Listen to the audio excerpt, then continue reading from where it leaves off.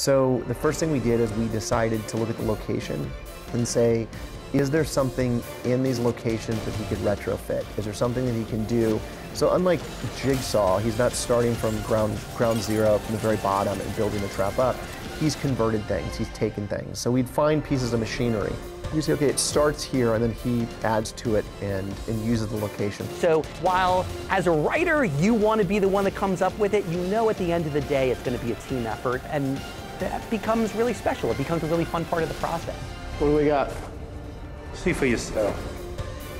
So I worked on a lot of like my dialogue and just like some of the cop stuff, but I made sure I had nothing to do with the traps.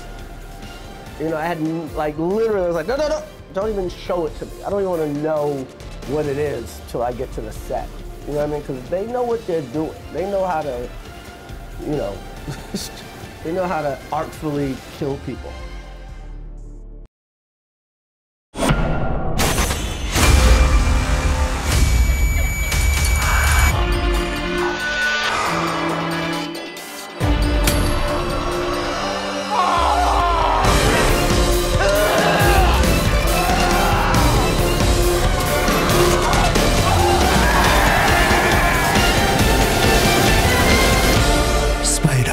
soul. dice.